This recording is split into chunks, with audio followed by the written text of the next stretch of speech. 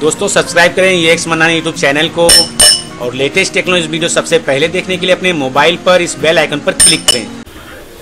दोस्तों, सामने जो मोबाइल आप देख रहे हैं, ये मोबाइल है ऑन सेवन प्रो और इस मोबाइल का एफआरपी आप जो है डायरेक्ट अनलॉक कर सकते हैं।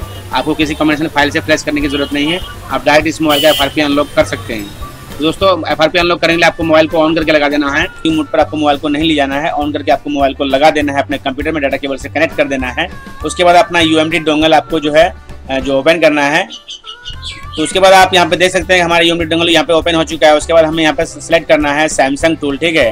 तो चलिए यहाँ पे हम सैमसंग टूल यहाँ पे सिलेक्ट कर लेते हैं। उसके बाद दोस्तों आप यहाँ पे नीचे देख रहे हैं यहाँ पे अल्टीमेट फ्लासर यहाँ पे आपको एक बार क्लिक करना है और यहाँ पे जैसे आप एक बार क्लिक करेंगे उसके बाद यहाँ पे एफ़ आर पी टूल यहाँ पे ऑटोमेटिकली आ जाएगा ये डोंगल का आप यहाँ पे देख सकते हैं एफ़ आर पी टूल आ चुका है उसके बाद यहाँ पे आपको टूल एफ़ आर पी पे क्लिक करना है और यहाँ पे आपको न्यू मैथड सेलेक्ट करना है ठीक है उसके डायरेक्टली आपको यहाँ पे एफ़ आर पी जो है रिसेट दे देना है दोस्तों, जैसे आप रिसेट एफ़ पे क्लिक करेंगे, आपको मोबाइल को ऑन करके लगा देना है अपने कंप्यूटर में और ऑटोमेटिकली जो है आपका मोबाइल जो है डाउनलोडिंग मोड पर चला जाएगा और उसके बाद जो है एफ़ आर पी यहाँ से जो है रिसेट हो जाएगा। तो दोस्तों, आप यहाँ पर देख सकते हैं कि ये मोबाइल जो ऑटोमेटिकली डाउनलोडिंग मोड पर जा चुका है और इसका एफ़ आर पी यहाँ से जो है रिसेट हो रहा है। तो दोस्तों, मैं आपको यहाँ पे बताना चाहूँगा कि आप जो भी मोबाइल को अगर यहाँ पे जो है directly F R P reset करेंगे तो आप directly F R P reset ना करें यहाँ पे।